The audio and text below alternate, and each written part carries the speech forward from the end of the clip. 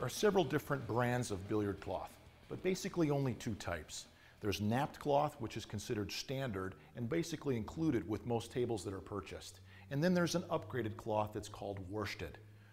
Napped cloth is a loop weave and has a nap to it, as the name describes, and it requires more brushing, a little more maintenance, and it does slow the ball down for the standard play. Worsted cloth is a flatter weave, more expensive, but promotes a faster play of ball and prolongs the life of the cloth. A real nice option that's available for both napped and worsted cloth is called Teflon treatment. Teflon helps the cloth to resist moisture and also prevent it from staining.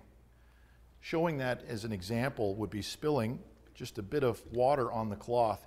It beads up on top of the cloth and you simply can blot it dry. The result, no damage to the cloth and no stain is visible.